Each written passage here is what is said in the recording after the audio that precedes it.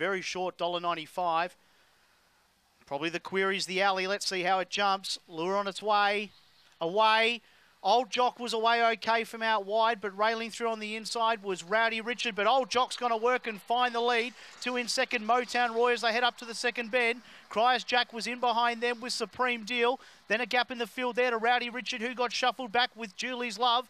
And last of all was Ari. Down the back, though, Old Jock, often gone by four or five. Rowdy Richards closing, then Motown Roy. At the head of the others was Supreme Deal with also Julie's Love. Up towards the turn, Old Jock, he's clear by about four to Rowdy Richard. Old Jock's getting tired, but Old Jock will do enough. Old Jock wins, speed in second, Rowdy Richard. Third was Julie's Love. Fourth, then Motown Roy. In behind them, Supreme Deal, Ari, followed then by Andy J near the rear.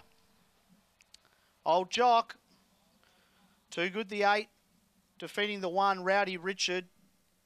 Julie's Love's run third. Time is 35.89. Pink Alley was probably the only risk, but once it jumped well, class prevailed. The eight, Old Jock, winning here in a time of 35.89. Beckham Bale by Swift